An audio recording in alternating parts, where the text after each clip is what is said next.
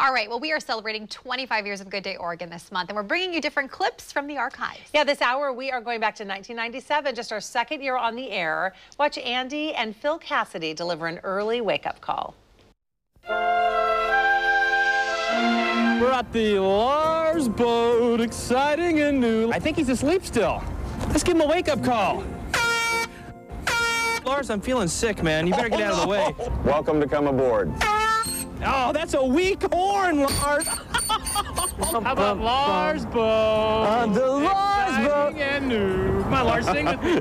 So what kind of adventures you going on on this thing? This is an adventure. Coming to downtown, you have to get all the bridge, not all the bridges, but a lot of them to go up and down. not lifting the bridges up and down because of the head size. It's more of the mass thing. It's just the mass thing, but it could be the head You know, size. just kidding, Lars.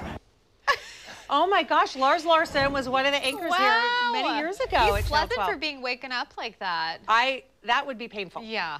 Joe, I you think you had something to say, but Well, we I was going to say, you. ne- next time I'm, I'm going to interrupt your sailboat, Shauna, and uh, come, come and. Oh yeah, I wish I'd have like a maybe a little kayak or probably more like a raft. but you can try your best. Yeah, that Wow. is like they're little monkeys. It's hilarious seeing how Hanging young up there. Andy looks in that I too. know. I know, little baby. Crazy. Baby Um, Andy.